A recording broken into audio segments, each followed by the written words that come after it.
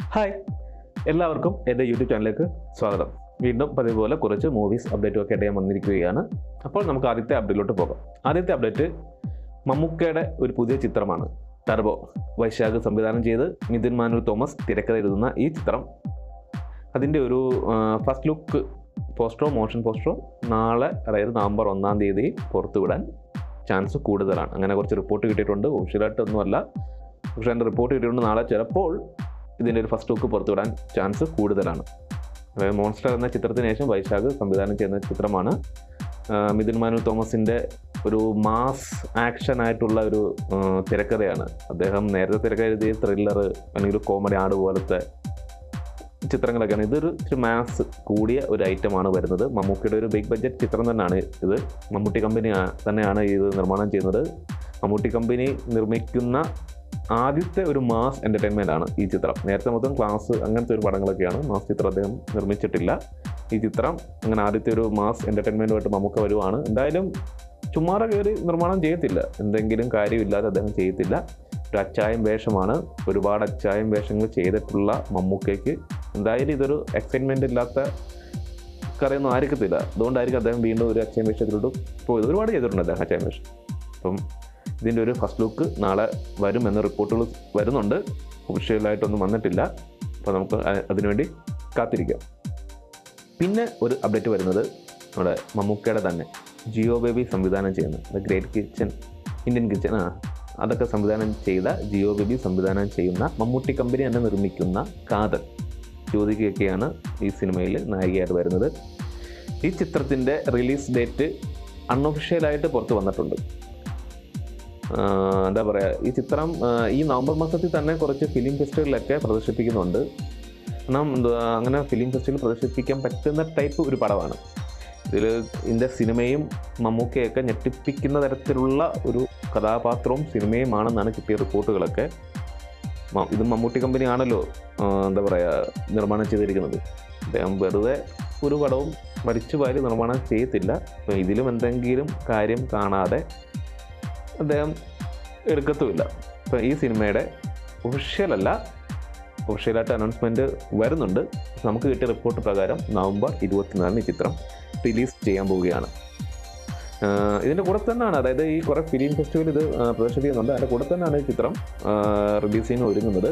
ഒഫീഷ്യലായിട്ടുള്ള റിപ്പോർട്ടുകളൊക്കെ ചിലപ്പം ഈ വരുന്ന ദിവസങ്ങളിൽ വരും. അതിന്റെ കൂടെ തന്നെ ടീസറും ഈ ആഴ്ചയിൽ വരാൻ ചാൻസ് കൂടുതലാണ്.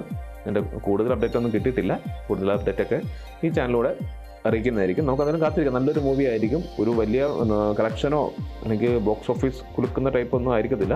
അത്യാവശ്യം നല്ലൊരു പടമായിരിക്കും കഥ. എന്നാണ് എന്റെ ഒരു വിശ്വാസം. ഇനി അടുത്ത ഒരു ബോക്സ് ഓഫീസ് കളക്ഷനാണ് ലിയോ.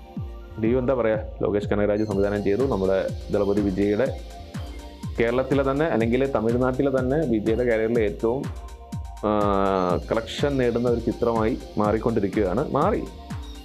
ഈ എന്താ പറയുക ലിയോ. അപ്പം ഈ ചിത്രം കേരളത്തിൽ നിന്ന് അമ്പത്തഞ്ച് കോടിക്ക് മുകളിൽ കളക്ട് ചെയ്തിട്ടുണ്ട്. ഇന്നലെ വരെയുള്ള കണക്കുകൾ പ്രകാരം അമ്പത്തഞ്ച് കോടിക്ക് മുകളിൽ ലിയോ കണക്ക് കളക്ട് ചെയ്തിട്ടുണ്ട്.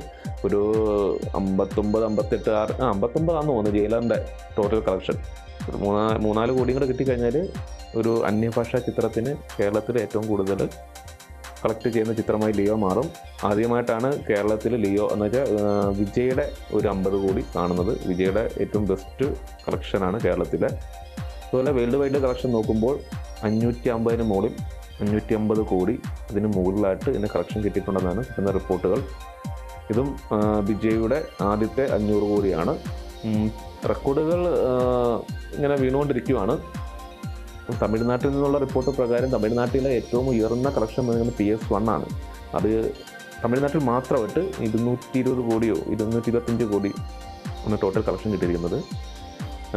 ജയിലറിനാണ് നൂറ്റി തൊണ്ണൂറ്റി മൂന്ന് ആ റേഞ്ചിലാണ് ലിയോ നൂറ്റി അമ്പത് നൂറ്റി അമ്പത്തഞ്ചിനടുത്തായിട്ടുണ്ട് ചിലപ്പോൾ ജയിലറിന്റെ റെക്കോർഡ് ലിയോ പൊട്ടിക്കാൻ ചാൻസ് കൂടുതലാണ്.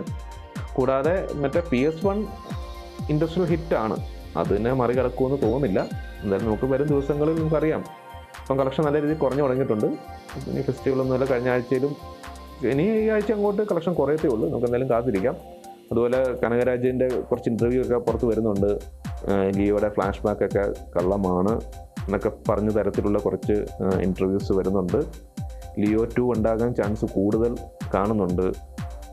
അതുപോലെ ലിയോയിലെ തൃഷയുടെ ക്യാരക്ടറും വിക്രമിലെ അമർ നമ്മുടെ ഫഹദ്. ഇവരൊക്കെ തമ്മിൽ എന്തോ കണക്ട് ചെയ്യുന്ന കുറേ ലീഡിങ് ഒക്കെ ഉണ്ടെന്നൊക്കെ ഇങ്ങനെ റിപ്പോർട്ടുകളൊക്കെ വരുന്നുണ്ട്. അപ്പം കൈദി ടു റോളക്സ്. അത് കഴിഞ്ഞാൽ ചിലപ്പം ലിയോ ടു കാണാൻ ചാൻസ് കാണുന്നുണ്ട്. അതായത് നമുക്ക് കാത്തിരിക്കാൻ വരും അപ്ഡേറ്റുകൾക്കെല്ലാം അപ്പം ഈ ചാനൽ ഇഷ്ടപ്പെടുകയാണെങ്കിൽ ഒന്ന് സബ്സ്ക്രൈബ് ചെയ്യുക. ഇതുപോലത്തെ അപ്ഡേറ്റുകളൊക്കെ നമ്മൾ ഈ ചാനലിലൂടെ അറിയിക്കുന്നതായിരിക്കും. അപ്പോൾ ഓക്കെ ബൈ